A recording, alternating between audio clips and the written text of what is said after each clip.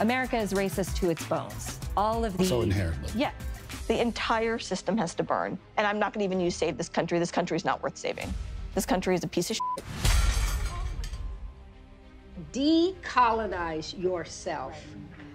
Do your own white supremacy dismantling. So Matt Walsh featured or exposed Saira Rao and Regina Jackson, who are the organizers of a race to dinner gathering, where they invite white women to dinner where they discuss issues about deconstructing and decolonizing their whiteness, how they can be better anti-racist and how they can use their white privileges to better black lives. The movie has received a lot of interest and of course a lot of criticisms. Of the criticisms the movie has received, the worst in my opinion of them all is from the portion of the movie featuring Robin DiAngelo. Hi, Robin. Hi. And what's your name? I'm Matt. Matt. Hi, Yeah. Matt. Nice to meet you. Just had to ask who you are because you have to be careful. Never be too careful. Also, Robin DiAngelo fell for the weakness in her own arguments for DEI in that scene in the movie. Robin DiAngelo is the best-seller author for the book White Fragility, and since the release of the documentary, Robin DiAngelo released a statement stating that when I arrived for the interview, a few things felt off. The grips would not even make eye contact with me and the interviewer, who was introduced as Matt, appearing to be wearing an ill fitted wig. Matt presented himself as someone new to anti racist work and seemed earnest, and his questions did not come off as adversarial. By the end, however, things got weird, she wrote in a statement on her website. Let's go to the statement here. Page not found. And since then, Robin DiAngelo has also taken down her social media account. Looks like these all went from zero to a hundred within a moment. Well, that's what I want to talk about this time around. If you're new to the channel and you're getting any value, please subscribe to the channel and give the video a thumbs up. So let's get into it.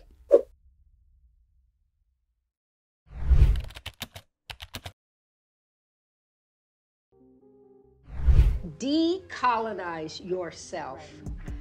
Do your own white supremacy dismantling. And then you can start to, be, to bring in other people. Can I just can I just say one last thing? Can I just propose a toast? Uh, I mean, just raise a glass if you're racist, and that's the thing. Uh, Cheers. Oh, I'm not racist. Let me so put my race, well, glass- all the rest of In the first part, this is probably the best documentary showing the trajectory of modern society, in my opinion. And I'm not surprised, actually, that the documentary grossed over $4 million in the opening weekend. And since then, it's been in over 1,500 theaters. Uh, I watched from Canada, actually. And it's grossed over $12 million since its release. It's also rated the number one documentary of the decade, according to Matt Walsh. I don't know if that's true. It achieved a 99% audience score on Rotten Tomatoes. I think that's impressive, especially on Rotten Tomatoes. It is by Matt Walsh and it's garnered significant attention, particularly for its satirical approach to the topic of diversity, equity, and inclusion. Let me know if you've seen the movie and uh, from which country you watched the movie. And after seeing it, what were your thoughts? Please let me know in the comment section. So, in my opinion, at first I thought this was just acting. You know, I had to catch myself and remind myself that it is indeed a documentary and it reveals to me the next level of problems we've created for ourselves and trying really hard to convince ourselves about the solutions. Now, here are some of the key moments from that documentary without giving it away too much.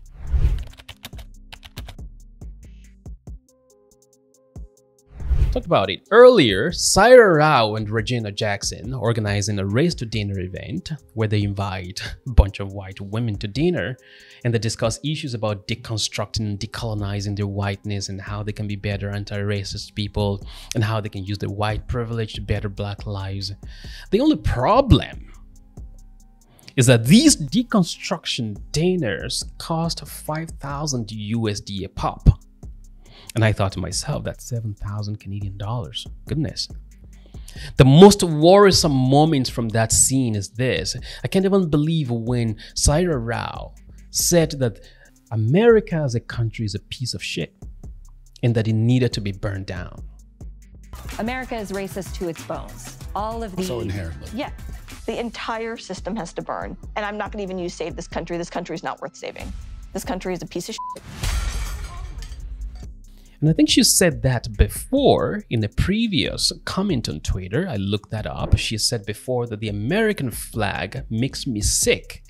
That's in a recent Twitter post by her. In another one, she said, White folks, before telling me that your Indian husband or your wife or friend or colleague doesn't agree with anything I say about racism or think I'm crazy, please Google the word token, internalized oppression, and gaslighting. These are supposedly some elite women meeting, but I couldn't believe the level of craziness in the conversations that happened in that scene. I also couldn't believe that Matt Walsh made those women toast to being racist. And it's that moment when Regina Jackson retorted to herself that she couldn't be racist because she's black. That's what we're dealing with, where being black bestows the privilege for you that you could not be racist. And being white makes you inherently racist in the new definition for DEI in our society today. And to start with, you know, in my opinion, this is 2024, it's not 1824. For goodness sakes, I use the same bathroom as anyone now. I don't sit in the back of a bus or a train for being black now. I can vote while black. You know, society has made a huge progress. Significant strides has been made in human rights, in economic development, in education, in governance. I think the US abolished slavery in the 1800s. Britain abolished the slave trade in 1807, for instance, and slavery itself in all of its colonies in the 1800s. Canada also abolished slavery in the 1800s. It's a long, long time ago now. And this is 2024.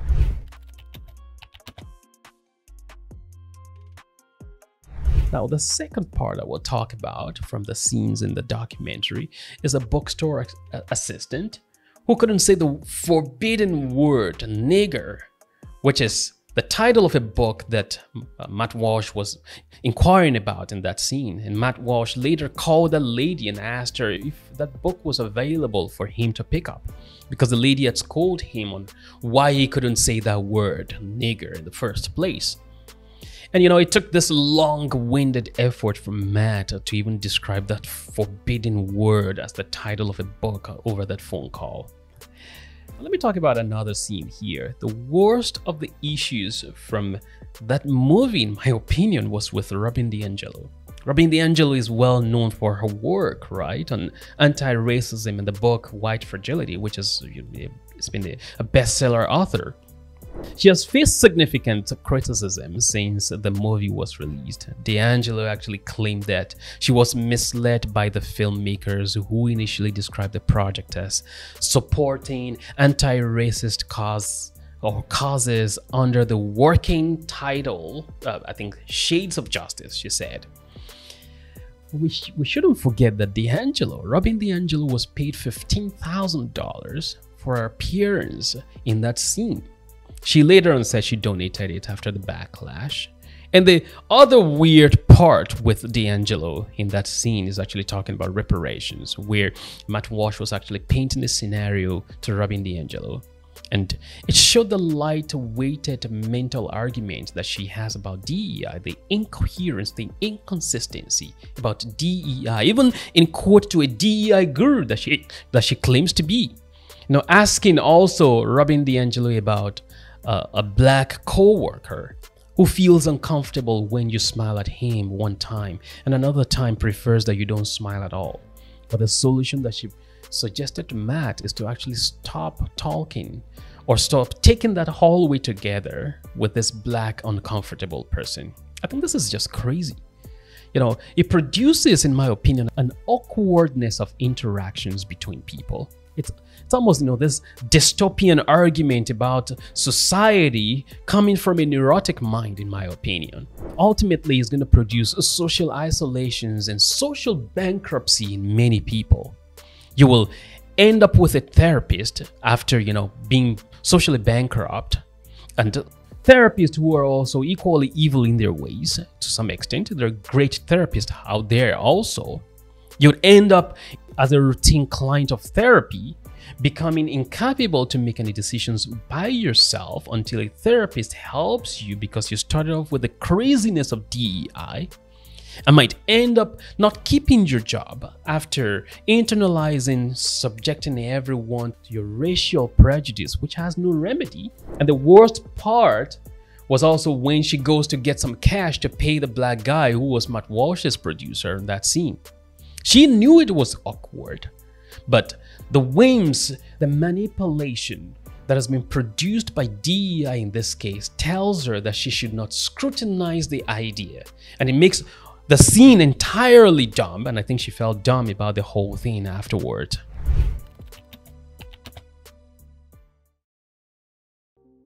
Now, there are several other things I could talk about with respect to this movie. I couldn't believe that Matt actually organized DEI seminars.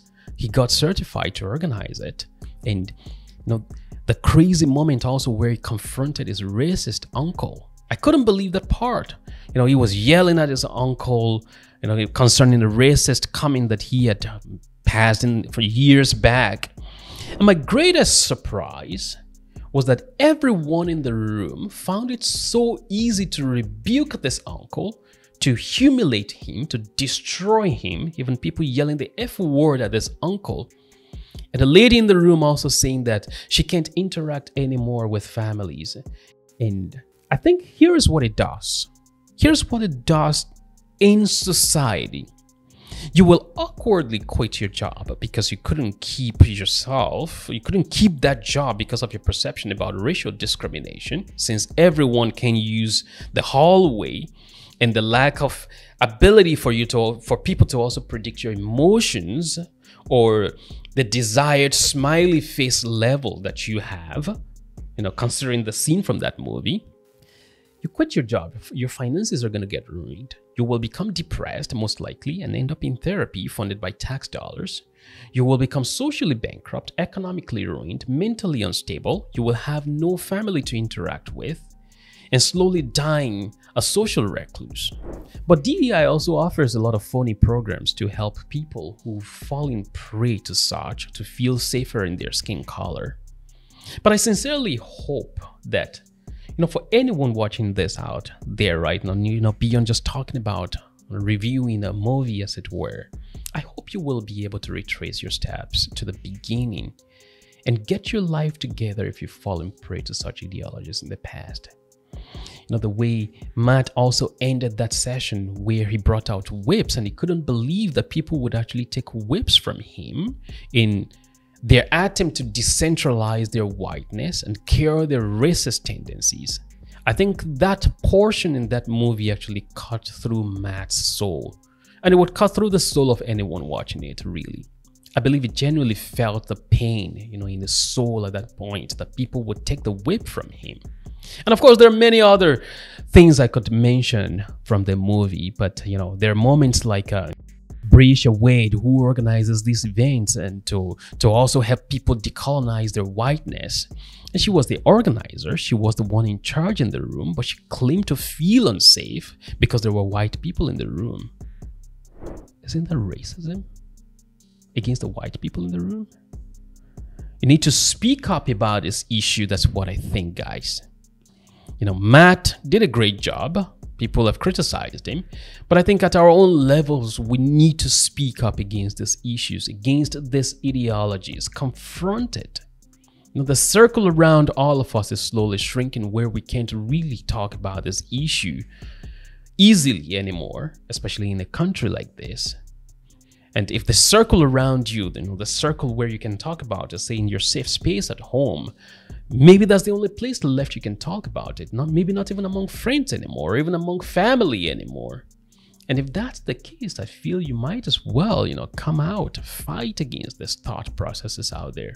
But here is my worldview about DEI. I talked about in the previous monologue. I encourage you to check it out. Here's my worldview. I believe in the sacredness of life for each individual. I, I condemn any racial injustice, including slavery. I condemn that act by the perpetrators altogether. And I believe, you know, life is sacred for each one of us. And we shouldn't punish anyone for what was done five, ten generations ago. And the sooner we move on from the past, the better for all of us. The sooner we recognize that the issues relating to character building, issues relating to faith, into you know the power of education that can take the a child from a dirt poor background at least into middle class or even with the princess of life. Those we should not overlook. Those are things we should emphasize in the society way more than issues relating to decolonizing and decentralizing whiteness and you know feeling oppressed or not oppressed. And we all can contribute positively to building an orderly society that's better for all of us all I also believe that, you know, I believe in that Psalm of David that you formed me in my inward parts, you covered me in my mother's womb, so I will praise you, for I'm fearfully and wonderfully made. Marvelous are your works, and that my soul knows very well. Well, those are my opinion about the movie Am I Racist? I encourage you to go check it out. Write in the comment section if you've watched it as well. Let me know what you think about the movie. Well, if you made it this far, there are chances you and I share something in our thought process together, so please subscribe, help support the work on the channel, and like the video so that others get to see it. I'll see you very soon. Take care.